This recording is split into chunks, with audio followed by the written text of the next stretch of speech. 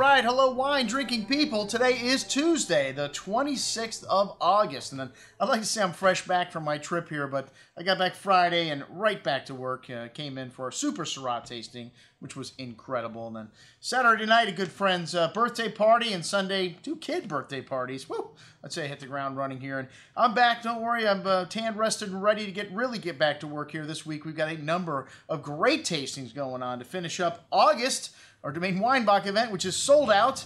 And then we got our vintage Aussie tasting this Friday. We're going to be tasting some of the top level wines like Henschke Hill of Grace and Penfolds Grange here in the store. And we still got a few seats left for that, one of our once in a lifetime events. Hey, we do it every year, and uh, that's how we roll here at the Wine Watch. We're planning on taking down as many of these great bottles that we've got inside these four walls as we can before another earthquake hits. And, uh, never know. God bless those people in Napa. Hopefully, uh, you guys are all fine out there. And we've got one of my favorite things in life on this email a killer deal on a vintage wine from a great producer from Italy. And this is um, our good friend Dominic Nocerino, the owner of Vinifera. And uh, he's decided after 30 years of being an importer and distributor in this country, he should try his hand at making his own winery. Bought St. Elena Winery in Venezia Giulia in northeastern Italy in uh, 1997 and got personally involved here. And uh, Franco Bernabei was his first consulting winemaker, one of the top names in Italy. I don't know who he's got there now, but I know his son,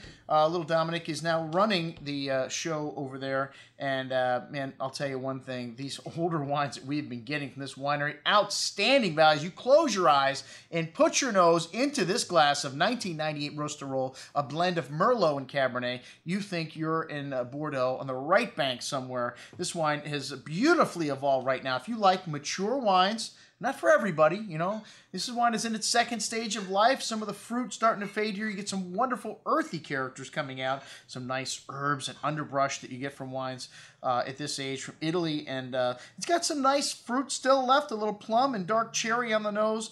And uh, nice and expansive on the palate here. Smooth round tannins, which is what happens when the wine gets old. It still has some nice freshness to it, though. This wine, a very good little bottle of wine for 15 bucks. Wow one of the best values we have in that vintage category in the store. And uh, hey, we've also got one of my favorite wines from this part of Italy, Pignolo. There's only a few people that make these. This uh, Quantum wine from 2006, most excellent juice. And then we got some of these Magnums left from 2005, Cabernet and Merlot for uh, under $15.